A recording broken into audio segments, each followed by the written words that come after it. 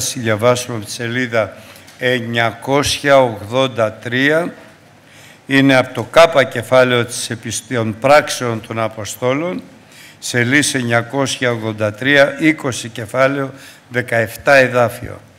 Σελίδα 983 κάπα κεφάλαιο 20 κεφάλαιο 17 εδάφιο με τη χάρη του Χριστού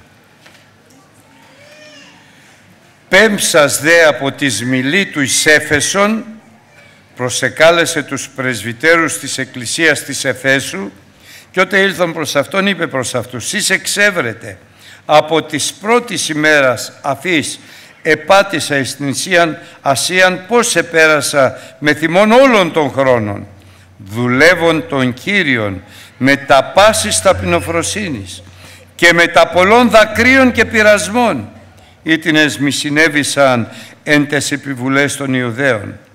Ότι δεν υπέκρυψα ουδέν των συμφερόντων ώστε να μην αναγγείλω αυτό προς εσάς και να σας διδάξω δημοσία και κατοίκους διαμαρτυρόμενος προς Ιουδαίους και Έλληνας την εις των Θεών μετάνοια και την πίστην την εις τον Κύριον ημών Ιησού Χριστόν και τώρα ειδού εγώ δεδεμένος στο πνεύμα τυπάκος Ιερουσαλήμ μη γνωρίζον τα μέλλοντα να συμβώσει εις εμένα αυτή.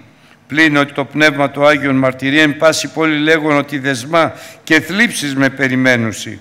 Δεν φροντίζω όμως περί ουδενός τούτον, ουδέχω πολύτιμον τη ζωή μου ώστε να τελειώσω το δρόμο με τα χαράς και την διακονία την οποία, την οποία έλαβον παρά του Κυρίου Ιησού να διακηρύξω το Ευαγγέλιο της χάριτος του Θεού. Και τώρα ειδού εγώ εξεύρω ότι πλέον δεν θέλετε ειδεί το πρόσωπό μου στις πάντες, μεταξύ των οποίων διήλθον κηρύττων την Βασιλεία του Θεού. Όθεν, μαρτύρομαι προς εσάς εν σήμερον ημέρα, ότι εγώ είμαι καθαρός από το αίματος πάντων, διότι δεν συνεστάλλει να αναγγείλω. Προς εσάς πάσαν την Βουλή του Θεού. Προσέχετε λοιπόν σε αυτούς και σε όλο το πίμνιον, στον οποίο το Πνεύμα το Άγιο σας έδεσε επισκόπους, για να ποιμένετε την Εκκλησία του Θεού, την οποία αναπέκτησε δια του ιδίου αυτού αίματος. Διότι εγώ εξεύρω τούτο ότι μετά την αναχώρησή μου θέλω συνεισέλθει σε εσάς λύκη βαρύς, μη φιδόμενοι του ποιμνίου. Και εξημών αυτών θέλουν σηκωθεί άνθρωποι λαλούντες διεστραμμένα, για να αποσπώσει τους μαθητάς ο πίσω αυτών. Δια τούτο αγρυπνείτε ενθυμούμενοι ότι τρία έτη νύχτα και ημέρα δεν έπαυσαν νουθετών με τα δακρύων ένα έκαστον. Και τώρα αδελφοί σας αφιερώνω εις τον Θεόν και στον λόγο της χάριτος αυτού ώστις δύναται να επικοδομήσει και να δώσει σε εσάς κληρονομία με τα πάντων των Αγίων, των Αγιασμένων, αργύριων ή χρυσίων, ημάτιον ουδενός επεθύμησα. Σεις δε εξέβρετε ότι στα σχρίας μου και εις τους όντας μετεμού οι χείρες αυτοί υπερέτησαν. Κατά πάντα υπέδειξε εις εσάς ότι ούτω κοπιάζοντες πρέπει να βοηθείτε τους ασθενείς και να ενθυμίστε τους λόγους του Κυρίου Ιησού ότι Αυτός είπε «Μακάριον είναι να δίδει τις μάλλον παρά να λαμβάνει». Και αφού είπε ταύτα γονατή σας προσευχήθη με τα πάντων αυτόν έγινε δε κλαθμός πολλής κλαθμός πάντων και πεσόντες επί των τράχυλων του Παύλου κατεφύλουν αυτόν υπερλυπούμενοι μάλιστα δια των λόγων των οποίων είπε ότι δεν θέλουν συνειδεί πλέον το πρόσωπον αυτού και προέπεμπον αυτόν εις το πλοίον. Αμήν. Το μήνυμα το σημερινό είναι το 33, 34 και 35 δάφιο το οποίο ξαναδιαβάζω. Αργύριον και χρυσίων ή ημάτιον ουδενός επεθύμησα. Σεις δε αυτοί εξεύρετε ότι στις ανάγκες μου αλλά και στις ανάγκες των όντων μετεμού οι χείρες αυτοί υπηρέτησαν. Κατά πάντα υπέδειξα εις εσάς ότι ούτω κοπιάζοντες πρέπει να βοηθείτε τους ασθενείς και ιδιαιτέρως να ενθυμίστε τους λόγους του Κυρίου Ιησού ότι Αυτός είπε «Μακάριον είναι να δίδει της παρά να λαμβάνει». Αυτό είναι αδελφοί αγαπητοί το κρίσιμο μήνυμα σήμερα. Μακάριος, ευλογημένος και Άγιος είναι αυτός ο οποίος ήλθε για να προσφέρει παρά να λαμβάνει. Να προσφέρει τις υπηρεσίες του, να προσφέρει τα δέκατά του, να προσφέρει τις προσφορές του. Και ο Απόστολος Παύλος, για να το καταλάβουμε καλύτερα, λέει «Βεβαίως, ο Κύριος διέταξε κηρύττοντας στα Ευαγγέλιο να ζώσουν εκ του Ευαγγελίου, αλλά εγώ παρόλη την εντολή του Κυρίου, ουδέν τούτον μετεχειρίστην, ούτε έγραψα τα αυτά διαγίνει ούτως εις εμέ, διότι καλόν είναι εις εμένα αποθάνω μάλλον, παρά να ματαιώσει τη στο καύχημά μου. Διότι αν κηρύττω το Ευαγγέλιο δεν είναι εις εμέ καύχημα, επειδή ανάγκη είναι να κηρύττω το Ευαγγέλιο, διότι ο Κύριος μου το εμπιστεύθηκε. Δεν είχα καμία σχέση εγώ με αυτά, διώκτης βλάσιμος και υβριστής ήμουν. Επειδή αν κάνω τούτο με δική μου πρωτοβουλία, πρέπει να έχω μισθό. Αλλά αν κάνω τούτο με πρωτοβουλία του Κυρίου, μου έχει εμπιστευτεί η οικονομία. Ποιος λοιπόν είναι ο μισθός μου ενώπιον του Κυρίου, το να κάνω αδάπανον το Ευαγγέλιο δια της κηρύξεώς μου, ώστε να μην κάνω κατάχρηση της εξουσίας μου. Φοβερό να μην κάνω κατάχρηση της εξουσίας μου. Και εξηγεί το κρίσιμο σημείο. Έτσι θα είμαι ελεύθερος πάντων. Για να μπορώ εις πάντας να δουλώνω τον εαυτό μου, ελευθερωθέντες από την αμαρτία, δουλωθέντες των Θεών, τότε και μόνο τότε ο μισθός σας θα είναι εισαγιασμόν και τότε και μόνο τότε το τέλος σας θα είναι ζωή αιώνιος. Ελευθερωμένος ελεύθερος ον πάντων, εις πάντα σε δούλωσα τον εαυτό μου. Για ποιο λόγο; Για να κερδίσω τους πλειοτέρους. Αυτός είναι ο σκοπός της ζωής του Παύλου. Να κερδίσει στο όνομα του Χριστού, χάριν του Χριστού, για τη Βασιλεία των Ουρανών, εις δόξαν Θεού, Πατρός τους, τους περισσότερους. Γι' αυτό σε κάθε έναν φέρομαι διαφορετικά. Στους Ιουδαίους σαν Ιουδαίους. Στους υπονόμων σαν τους υπονόμων. Στους ανώμους ως άνομος. Στους ασθενείς ως ασθενείς. Δηλαδή σε κάθε έναν έχω διαφορετική συμπεριφορά με ένα κριτήριο. Να κερδίσω την ψυχή τους για τη Βασιλεία των Ουρανών. Βόηθησέ μας Κύριε μου. Το αποτέλεσμα δεν εξέβρεται ότι ετρέχονται στο σταδίο πάντες μεν τρέχουσι ένας όμως λαμβάνει το βραβείο. Γι' αυτό κατά αυτόν τον τρόπο να τρέχετε ώστε να λάβετε το βραβείο. Πας δε ο αγωνιζόμενος εις πάντα εγκρατεύεται. Εκείνη μεν διαναλάβω συφθαρτών στέφανων μισάφθαρτων. Εγώ λοιπόν ούτω τρέχω, ουχή αβεβαίως, ούτω πυγμαχώ, ουχή ως πυγμαχών στον αέρα, δεν πολεμώ χωρίς εχθρό. Το ξέρω ποιος είναι ο εχθρός μου, τον βλέπω. Δεν τον φαντάζομαι. Δεν πυγμαχώ στον αέρα, το είναι φαντασία ανθρώπινη. Αλλά δαμάζω το σώμα μου και το δουλαγωγό, μήπως εις άλλους κηρύξας εγώ φανώ αδόκιμος.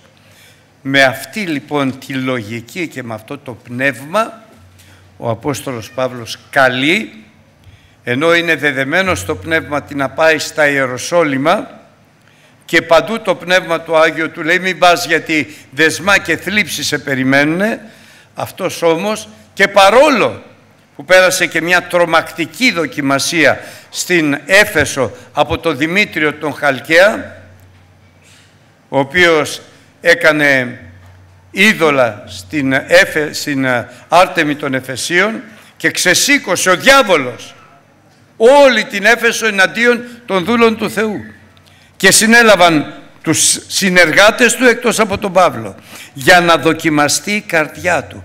Τι θα κάνει; Αυτό που του είπε το Πνεύμα το Άγιο, αυτό που του λέει ο Λόγος του Θεού ή αυτό που του λέει η καρδιά του ή αυτό που νομίζει; Τι θα κάνει; Εάν κάνει αυτό που του λέει η καρδιά του, η απατηλής σφόδρα και υπερπάντα διεφθαρμένη, τότε και οι σύντροφοί του θα καταστραφούν και αυτός. Εάν όμως κάνει αυτό που του οδηγεί το Πνεύμα το Άγιο μέσα από το Λόγο του Θεού γιατί το Πνεύμα το Άγιο μόνο μέσα από το Ευαγγέλιο του Ιησού Χριστού οδηγεί τον άνθρωπο εις πάσαν την αλήθεια μόνο μέσα από το Ευαγγέλιο του Χριστού όλα τα άλλα είναι διδασκαλίες ανθρώπινες μάταιες συνδιαλέξεις τι θα κάνει λοιπόν; Και έκαμε αυτό που τον οδηγούσε το Πνεύμα το Άγιο μέσα από το Ευαγγέλιο του Χριστού υπακοή κατά πάντα και υποταγή στο Λόγο του Θεού.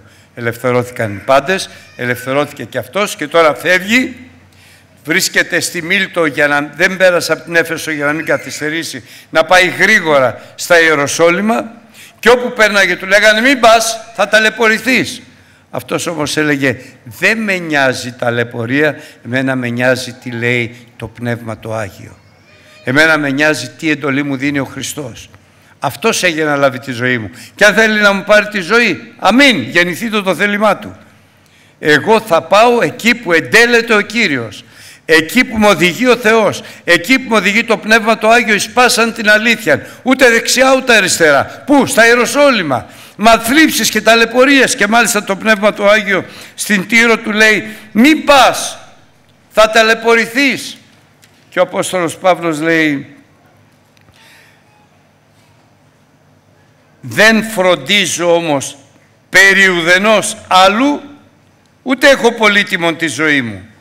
Εκείνο που με ενδιαφέρει είναι να τελειώσω το δρόμο μου με τα χαράς και την διακονία μου που με εμπιστεύθηκε ο Κύριος να την κάνω πλήρη. Αυτό είναι το κρίσιμο σημείο αδερφοί αυτό που σε εμπιστεύτηκε ο Θεός, ο Θεός, όχι η καρδιά σου, ο Θεός δια του Ιησού Χριστού είναι πνεύμα Αγίου, μέσα από το Ευαγγέλιο του Ιησού Χριστού. Αυτό θα το κάνεις κατά πάντα. Και τότε μη φοβού, μόνο πίστευε, ουδέν κακόν θέλει συμβεί εσέ. Και ό,τι και να γίνει, η στόχη σαν Θεού Πατρός θα γίνει για να κερδίσει τους πλειοτέρους. Και τι έγινε στα Ιεροσόλυμα ομολόγησε και κήρυξε το Ευαγγέλιο σε όλους τους ιερείς, σε όλους τους αρχιερείς, σε όλο τον Ισραήλ, στους βασιλιάδες, στους στρατηγούς, στους άρχοντες, σε όλους κήρυξε το Ευαγγέλιο. Φοβερό αδερφοί αγαπητοί. Και εν τέλει οδηγήθηκε και στη Ρώμη που και εκεί, στο ανάκτορο του Κέσαρα, και εκεί κήρυτε το Ευαγγέλιο για δύο χρόνια και μετά έφυγε και πήγε η Ισπανία, η Λυρία και τότε έρχεται ο Θεός και του λέει τώρα επέστρεψε στη Ρώμη γιατί έφτασε ο καιρός σου να αναχωρήσεις. Και χωρίς δισταγμό επέστρεψε στη Ρώμη, φυλακίστηκε, ταλαιπωρήθηκε, τον εγκατέλειψαν όλοι. Φοβερό αδερφοί. Στην τελευταία μου απολογία όλοι με εγκατέλειψαν. Μόνο ο Κύριος έμεινε. Και θέλω να το δούμε τι ωραία που το λέει αγαπημένα μου αδέλφια. Για να μην φοβόμαστε. Εν την πρώτη μου απολογία δεν με παρεστάθη ουδής, αλλά πάντες με εγκατέλειπον. Αλλά ο Κύριος, αυτό έχει σημασία, με παρεστάθη, με ενεδυνάμωσε, γιατί πρέπει να κηρυχθεί η αλήθεια του Ευαγγελίου και να ακούσουν όλα τα έθνη και με ελευθέρωσε εκ του στόματος του λέοντος και θέλει με ελευθερώσει ο Κύριος εκ παντός έργου πονηρού και θα με διασώσει ο Κύριος για την επιράνιον βασιλείαν αυτού στον οποίο ανήκει η δόξα, η τιμή, η λατρεία και η προσκύνηση τώρα και στους αιώνες των αιώνων. Μα Παύλος εγκατέλειψαν όλοι; Όχι, ο Χριστός ήταν μαζί μου. Δόξα στον Κύριο αδερφοί αγαπητοί. Και τώρα περιγράφει το πώς εργάστηκες στην Έφεσο που είναι πάρα πολύ σημαντικό. Αλλά με τη λογική του ο Κύριος είπε μακάριον είναι να δίδει τις παρά να λαμβάνει. Και λέει εσείς ξέρετε τρία χρόνια που έμεινα στην Έφεσο πώς εργάστηκα με τα πάσης ταπεινοφροσύνης, με τα πολλών δακρύων και πειρασμών οι οποίοι με συνέβησαν τις επιβουλές των Ιουδαίων. Όμως, δεν υπέκρυψα ουδέν το συμφερόντων ώστε να μην αναγγείλω αυτά προς εσάς και να διδάξω δημόσια και κατοίκους διαμαρτυρόμενος προς Ιουδαίους και Έλληνες την εις των Θεών μετάνοια και την πίστη στον Κύριον Ιησούν Χριστόν. Τη μετάνοια εις των Θεών και την πίστη στο Ευαγγέλιο του Ιησού Χριστού. Δεν υπέκρυψα τίποτα. Ομολόγησα τα πάντα, πάσαν την αλήθεια μέσα από το Ευαγγέλιο του Χριστού. Και τώρα, εγώ βεβαίως είμαι δεδεμένος στο πνεύμα να πάω στα Ιεροσόλυμα. Και εκεί θα ταλαιπωρηθώ και εκεί θα ομολογήσω. Ιησούν Χριστόν και τούτον εσταυρωμένο. Και εκεί θα κηρύξω το Ευαγγέλιο το οποίο μου εμπιστεύτηκε ο Θεός γιατί αυτή είναι η διακονία μου, αυτή είναι η αποστολή μου. Να κηρύττω πάσαν την αλήθεια. Μόνο μέσα από το Ευαγγέλιο του Ιησού Χριστού. Μέχρι να τελειώσω το δρόμο μου, εγώ τη διακονία μου θα την κάνω πλήρη. Και τώρα λέει στους Εφεσίους, εξεύρω ότι εσείς πλέον δεν θα δείτε το πρόσωπό μου, μεταξύ των οποίων διήλθον κηρύττων. Αλλά, αυτό το αλλά είναι πάρα πολύ σημαντικό. Αλλά, εγώ μαρτύρομαι προς εσάς τη σήμερον ημέραν ότι εγώ είμαι καθαρός από του αίματος πάντων. Αυτό είναι το σημαντικό. Και πότε ο άνθρωπος είναι καθαρός από το αίματος πάντων. Όταν είναι φύλακας και βλέπει τον εχθρό να έρχεται και σαλπίσει. Αν ακούσουνε και κρυφτούνε, έσωσαν τις ψυχές τους. Αν δεν ακούσουνε, το αίμα αυτού στην κεφαλή τους. Αν όμως ο φύλακας δεν σαλπίσει, τότε θα καταστραφούν αυτοί, αλλά το αίμα αυτών θα είναι στην κεφαλή του. Αυτό ομολογεί ο Απόστολος Παύλος. Αλλά, και αυτό το αλλά είναι φοβερό, διαμαρτύρομαι προς εσάς σήμερα ότι εγώ είμαι καθαρός από το αίματος πάντων διότι δεν συνεστάλην να αναγγείλω προς εσάς πάσαν την βουλή του Θεού. Δεν τράπηκα, δεν δίστασα, δεν φοβήθηκα.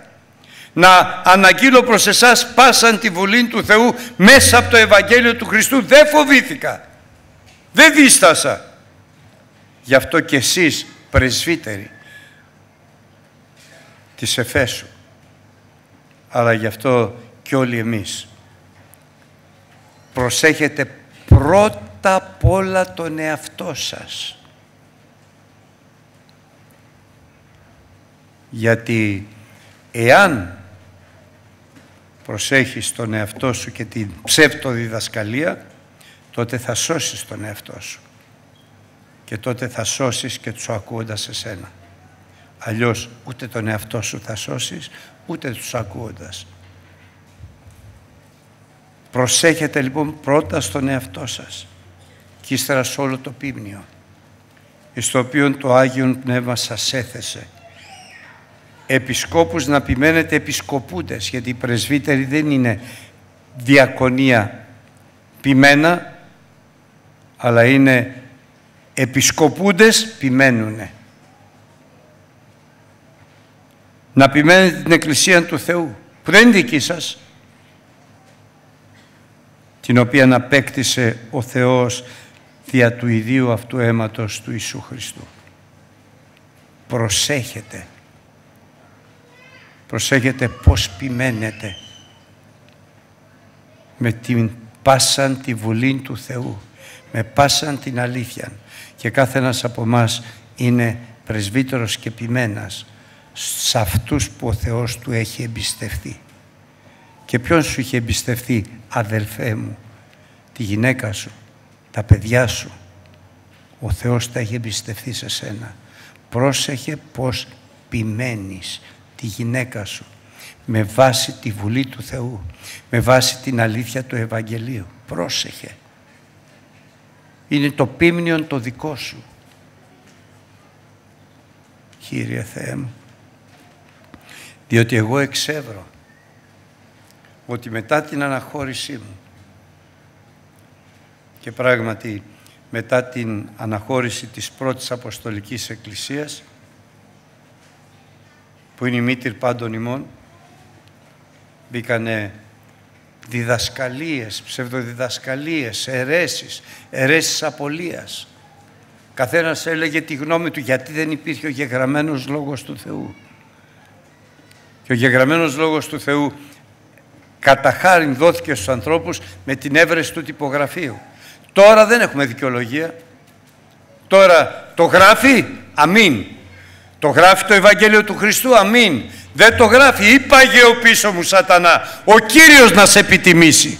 Το γράφει, δόξα στο όνομά σου το Άγιο Κύριε.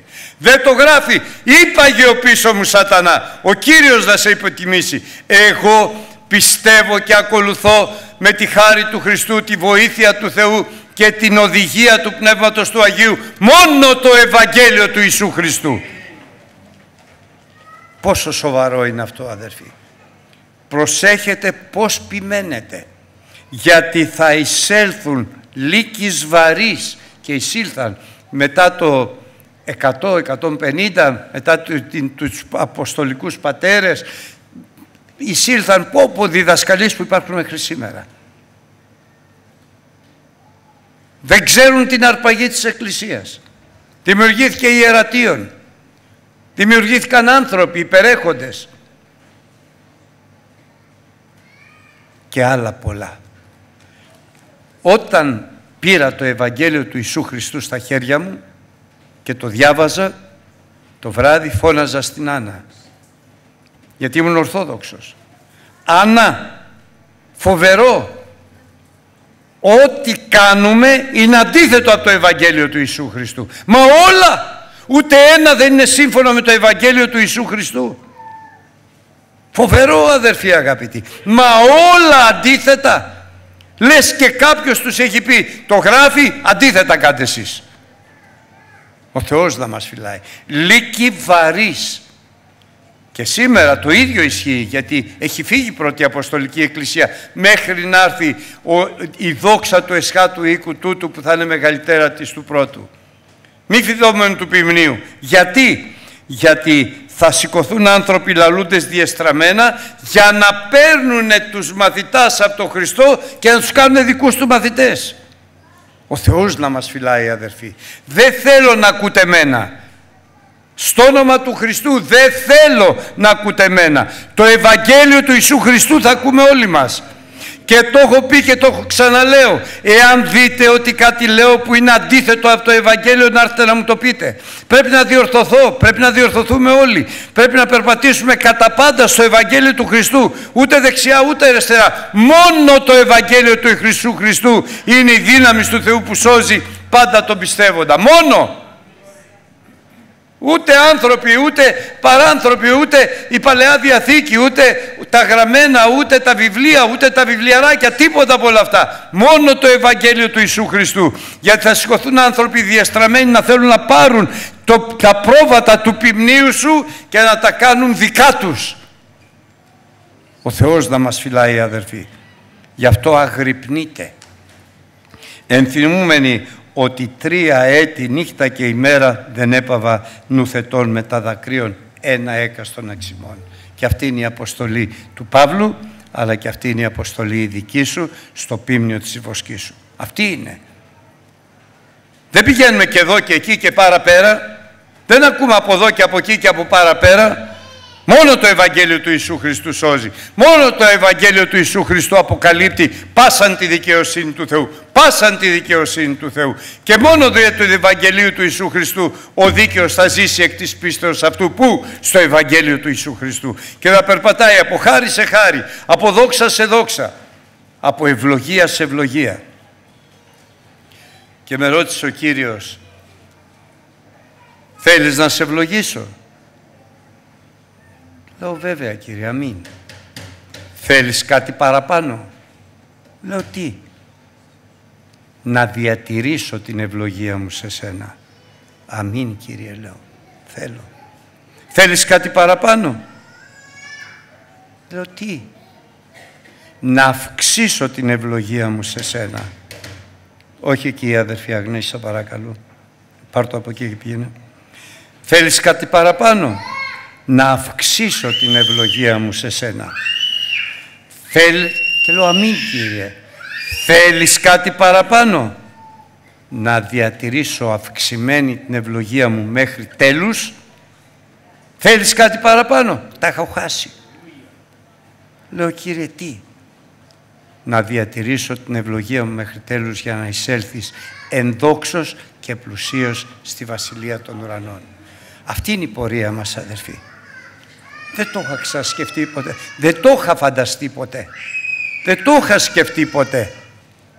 Να σε ευλογήσω, να διατηρήσω την ευλογία μου, να αυξάνω την ευλογία μου συνεχόμενα μέχρι το τέλος της ζωής σου και να εισέλθεις, για να εισέλθεις πλουσίως ένδοξα στη Βασιλεία των Ουρανών. Και λέω αμήν Κύριε μου.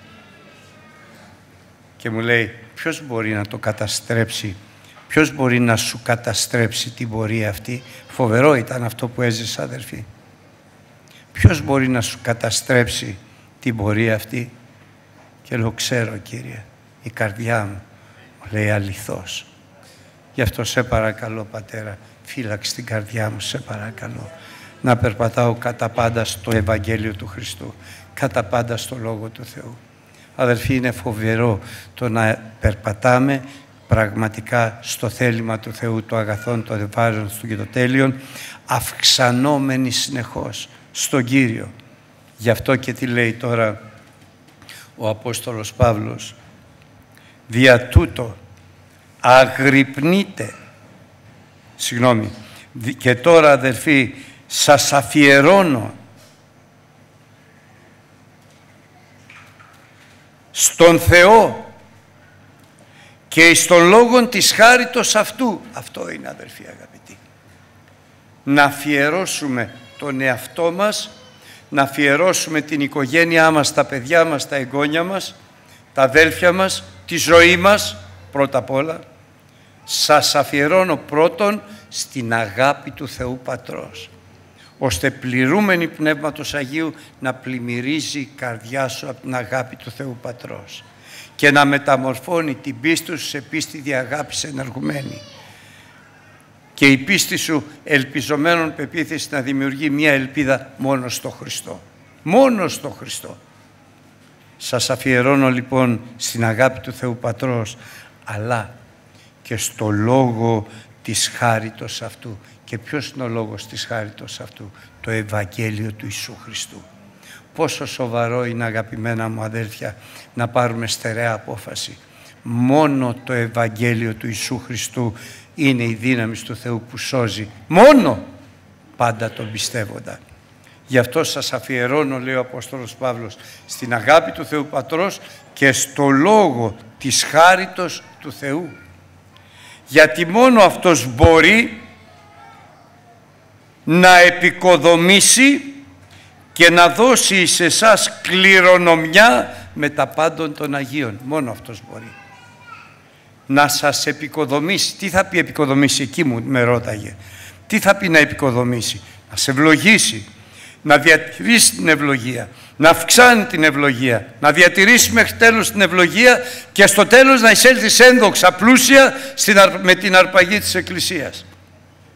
Εκεί είναι που με ρώτησε, θέλεις να σε ευλογήσω; Δηλαδή πότε; Να επικοδομήσει και να δώσει σε εσάς κληρονομία με τα πάντων των αγιασμένων από το Ευαγγέλιο του Ιησού Χριστού. Όχι των Αγίων, των αγιασμένων. Άλλο των Αγίων. Και άλλο των αγιασμένων. Να αγιάζεσαι συνεχόμενα. Κάθε μέρα.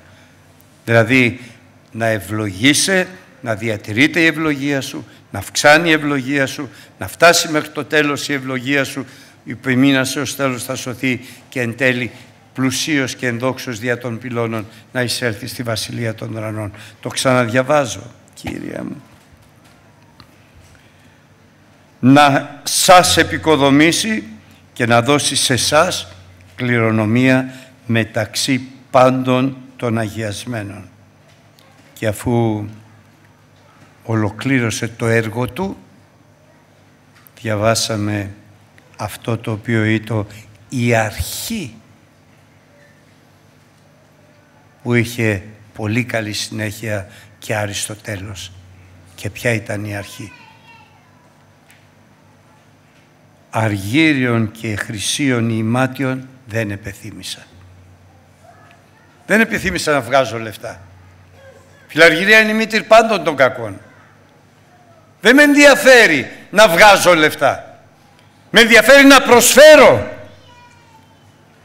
από αυτά που ο Κύριος μου χαρίζει. Δεν είναι δικά μου. Τίποτα δεν είναι δικό μου. Δεν είναι να κάνω αγορές, επενδύσεις, ε, με τοχές, ξέρω εγώ, οτιδήποτε. Δεν με ενδιαφέρει αυτό, λέει ο Απόστολος Παύλος. Δεν με ενδιαφέρει να πλουτίσω. Με ενδιαφέρει να έχω να προσφέρω. Γιατί μακάριος είναι αυτός που δίνει παρά αυτός που κερδίζει. Εμείς τι θέλουμε; Στον ουρανό να κάνουμε καταθέσεις. Δεν θέλουμε εδώ στη γη να κάνουμε καταθέσεις. Και το επαναλαμβάνω αδερφοί αγαπητοί. Δεν είναι να κάνουμε αγορές και επενδύσεις. Είναι έσχατος καιρός. Ό,τι έχεις θα τα αφήσεις κάτω. Πιο καλά είναι ότι έχεις να τα στέλνεις απάνω. Πόσο σοβαρό είναι. Ό,τι έχεις να τα στέλνεις απάνω. Ευλογημένος είναι ο άνθρωπος που δίνει παρά αυτός που λαμβάνει. Δεν ζω για να λαμβάνω. Ζω για να προσφέρω. Είπε ο Παύλος. Γι' αυτό είμαι ελεύθερος πάντων. Και γι' αυτό εδούλωσα τον εαυτό μου εις πάντας. Για να κερδίσω τους πλειοτέρους. Πώς θα τους κερδίσω; Πόσο σοβαρό είναι αδελφοί αγαπητοί. Με το μαμονά της αδικίας θα κερδίσω τους πλειοτέρους. Τι εκλέγεις. Το μαμονά της αδικίας το Χριστό. Σήμερα λέμε εγώ εκλέγω Ιησούν Χριστόν και τούτον εσταυρωμένο. Επιτιμώ το διάβολο στο όνομα του Χριστού. Επιτιμώ τις προσφορές Του. Εγώ θέλω Ιησούν Χριστόν και τούτον εσταυρωμένο. Αλληλούια. Βόηθησέ μας Κύριε.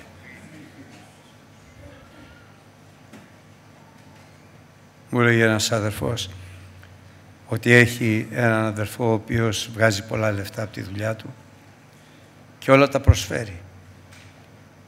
Και του λέει γιατί; Γιατί λέει θα μείνουν κάτω και ποιος θα τα πάρει; Εγώ θέλω να πάνε πάνω να ανήκουν σε μένα. Πόσο με οικοδόμησε αυτό που είπε αυτός ο αδερφός. Και όταν το είδα σήμερα στο Ευαγγέλιο γραμμένο θα μου πείτε το είχα δει, σήμερα το κατάλαβα. Μακάριον είναι να δίδει της παρά να λαμβάνει. Γιατί αγωνίζεσαι, γιατί εργάζεσαι; Για να κερδίσεις τι; Και τότε σας λέω ήταν που μου είπε ο Κύριος θέλεις να σε ευλογήσω, να κερδίσεις τι, θέλεις να σε ευλογήσω, λέω μην. Θέλεις τίποτα άλλο; Όχι Κύριε. Θέλεις να διατηρήσω την ευλογία σου στη ζωή σου, την ευλογία μου στη ζωή σου; Και λέω αμήν Κύριε. Θέλεις τίποτα άλλο; Όχι Κύριε. Εγώ θα σου δώσω. Θέλεις να αυξήσω την ευλογία μου στη ζωή σου; Λέω αμήν Κύριε. Θέλεις τίποτα άλλο; Όχι Κύριε.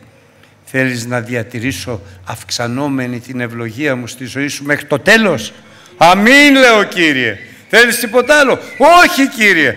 Θέλεις να εισέλθεις πλουσίως στη Βασιλεία των Ουρανών και έντοξα; Αμήν αυτό θέλω Κύριε. Αμήν αδέλφια μου. Αυτή είναι η πορεία μας. Αυτό θέλουμε. Να εισέλθουμε πλουσίως στη Βασιλεία των Ουρανών. Πρόσεχε λοιπόν. Με τα πάσης φυλάξεως. Φύλατε την καρδιά σου. Πρόσεξε τι εργάζεσαι, για ποιον εργάζεσαι, τι προσφέρεις. Προσφέρεις τα δέκατα, προσφέρεις τις προσφορές. Ο Κύριος θα ανοίξει τους καταράκτες του ουρανού και δεν θα έχεις τόπο να θέσεις την ευλογία Του. Και τότε όταν πια εξομολογήθηκε στους Εφεσίους και δίδαξε εμάς το Ευαγγέλιο του Ιησού Χριστού Απόστολος Παύλος γονατίσας προσευχήθηκε αυτό είναι το τέλος της υποθέσεως γονατίσας προσευχήθηκε με τα πάντων αυτών και έγινε πολύ κλαθμός πάντων και πεσόντες επί των τράγυλων του Παύλου κατεφύλουν αυτόν, υπερλυπούμενοι δια των λόγων των οποίων είπαν, είπεν ότι δεν θέλουν συνειδεί πλέον το πρόσωπο αυτού και προέπεμπον αυτόν εις το πλοίο. Αδερφοί αγαπητοί, ο αποχωρισμός δεν είναι καλό, αλλά εκείνο το οποίο θέλει ο Θεός να είμαστε πλησίον Ιησού Χριστού και τούτο εσταυρωμένου. Θυμηθείτε τι είπαμε στην αρχή. Η εντολή του Θεού ήταν πάρε το Αγιαστήριον, τον ναό του Θεού, την κυβωτό της Διαθήκης και πήγαινε την έξω και μακριά από αυτό το λαό. Φοβερό. Γιατί είναι σκληροτράχυλος. Επιμένεις στις απόψεις του. Ξέρεις θα πει σκληροτράχυλος. Αυτό είναι που λέω εγώ. Μακριά. Δεν τον εγκατέλειψε όμως. Αλλά άφησε τα κόκαλά τους μέσα στην έρημο. Εκτός και αυτό που ήταν το μήνυμα του Ιησού του Ναβί και του Χάλεφ οι οποίοι είχαν άλλο πνεύμα. Άλλο πνεύμα. Και το άλλο πνεύμα ποιο ήτανε; Πίστευαν κατά πάντα στο Λόγο του Θεού. Και το άλλο πνεύμα ποιο είναι; Πιστεύω κατά πάντα στο Ευαγγέλιο του Ιησού Χριστού, του Ιού του Θεού του Ζώντος. Αμήν Κύριε Θεέ. Βόηθησέ μας Χριστέ μου σε παρακαλώ.